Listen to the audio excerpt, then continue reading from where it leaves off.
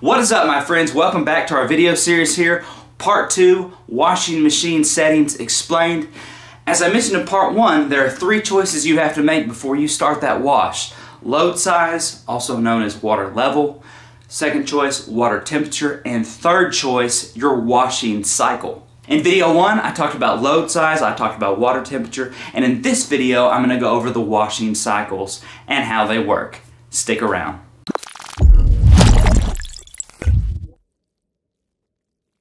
So there are three basic washing cycles all machines have. A washing cycle is the selection you select. It is the command you give that washing machine for how to wash your items, since you're not to be doing it by hand. Do you want your items treated sweet, soft, and tender like a succulent baby lamb? Or do you want the machine to beat the living daylights out of your clothes? Mm, mm, mm. Or do you want something in the middle? Little compromise, if you will. Those are your three basic washing cycles. Sweet, soft, and tender is your delicate cycle. Aggressive and rough is your normal cycle, also known as your regular cycle. And then the middle ground is what's called the permanent press cycle. A washing cycle does three things in general. It washes, uh, another word for it would be it agitates the clothes. It rinses and it dries, kind of it spins to remove excess water so that the items are not soaking wet whenever you pull them out to put them in the dryer. And each cycle has a speed at which it agitates and a speed at which it spins. And the cycle you select will be based upon those two things, the speed of the agitation and the speed of the spin. If you have an older washing machine like me, then it'll say it right there on the machine. Here's an example. Fast, slow meaning that it's going to produce a fast, aggressive agitation and a slow spin speed. So let me break this down for you. The delicate cycle is the machine equivalent of hand washing. It is a sweet, soft, tender, affectionate, gentle cleaning. Delicate cycles use a slow, slow combination. So a slow agitation, a slow tumbling, a slow wash, right? And a slow spin speed to avoid any type of stretching or tearing of the items. The actual washing part lasts about four to seven minutes. This cycle is what you wash your delicate items on. The slow agitation is designed to be less abrasive, ensuring less wear and tear on those clothes. Unfortunately, it decreases the level of clean in a lot of circumstances. Personally, I recommend delicate cycles for clothes that you're not sure of. Start with delicate cycles and scale up from that point. In video one, I discussed what's considered delicate, so if you don't know what that is, then go check out video one. I'm not to repeat myself here for time's sake. Let's move right along. The permanent press cycle is your next step up. It uses a fast-slow combination, so fast aggressive agitation, slow spin speed. The washing part lasts about 7 to 10 minutes. This is used for your synthetics, your casuals, your polyesters, you know, your man-made fabrics, your rayon blends, your wrinkle-free clothing, etc. This is for your everyday clothes, basically. It minimizes wrinkles, it preserves wrinkle-free clothes. Great for dress pants, dress shirts, office wear, anything that wrinkles easily, this is a great cycle. Moving right along to the normal cycle, the regular cycle, it uses a fast, fast combination, fast aggressive agitation, fast spin speed. The washing part here lasts 8 to 15 minutes. So this is what you'd use on your heavily soiled items, right? You're sweaty, you're stained, your nasty, dirty clothes, okay? This is what you'd implement. And as a result of this combination, the clothes will come very clean. That is assuming you have your water temperature and your detergent correct as well. So there's three factors that's going to determine the cleanliness of your clothes. That's your washing cycle, your detergent, and your water temperature. I should do a video on detergent sometime.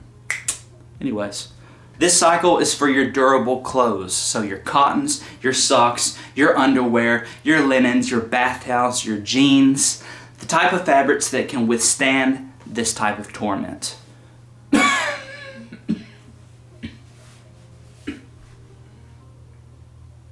Treatment, I mean. If you own any type of modern washing machine, chances are it's going to offer a host of what's called specialty cycles. Everything from brilliant whites to bulky items to sanitized to steam, etc.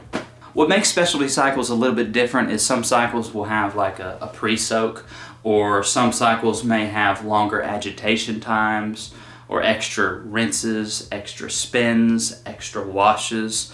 Some cycles will have uh, an allotted specific set time where you can add laundry boosters to the load. A few examples, you might have a cycle that has like a steam treatment. So the steam helps to fight the stains. Specifically, in this case, it would be oil-based stains or water-based stains, not protein-based stains. Also, steam cycles are used to remove wrinkles quicker. Another example, some washers will allow you to adjust the soil settings. So as you increase the soil level, it will increase the agitation time. And as you decrease the soil setting, it will decrease the agitation time. Some washers will allow you to manually adjust the spin speed, okay? So if you decrease the spin speed, you do that for your delicate items, and if you increase the spin speed, it'll just allow you to extract more water. A third example, some washers will offer what's called a sanitary cycle, and what this does is uses the heater of the washing machine to boost the temperature of the water to 150 degrees Fahrenheit, okay? So obviously this is going to help you to kill bacteria, kill germs, kill fungus, kill bugs if you need to kill bugs. Hopefully not. Hopefully not. Also, it's really good for heavily soiled items, right? So uh, an example, maybe you were cleaning um, one of those cloth baby diapers. This would be a great cycle to use that on.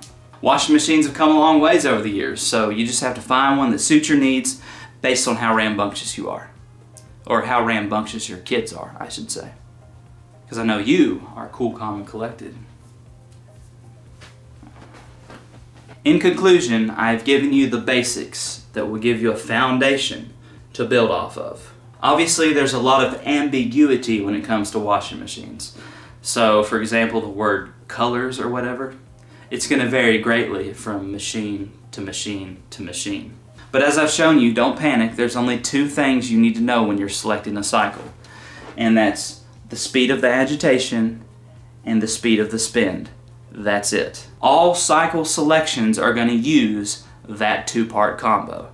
You just have to figure out the wording, okay, the words that your brand of washing machine likes to use. And that's where your owner's manual and your manufacturer's website come in handy. But in the end, all those different selections that are put in your face, right, are going to utilize, modify, build off of that two-part combo right there, okay? So if you get selections between whites, bulky, colors, jeans, activewear, towels, casuals, whatever they want to throw at you, just ask yourself, what combo are they using? What kind of a cycle is this going to be? Is it going to be a delicate cycle? Slow, slow? Is it going to be a, a normal cycle, a regular cycle, fast, fast, right? Or is it going to be a permanent press cycle, uh, uh, the hybrid, fast, slow? Ask yourself that question. What kind of a cycle is it? And that's going to give you a nice guide on where you want to go. So that's it, my friends. I'm going to bring this video to a close. Thanks so much for checking it out. Look, I try to make this as clear and understandable as possible. I want you guys to receive the maximum amount of value that I can give you. So you can go out there, you can clean with confidence. That's, that's the whole purpose of this channel, right? That's why I make these videos. So if you did find it valuable, like, share, subscribe, all that good stuff. Give a big clean with confidence thumbs up, you know. And until next time, I will see y'all in the next video.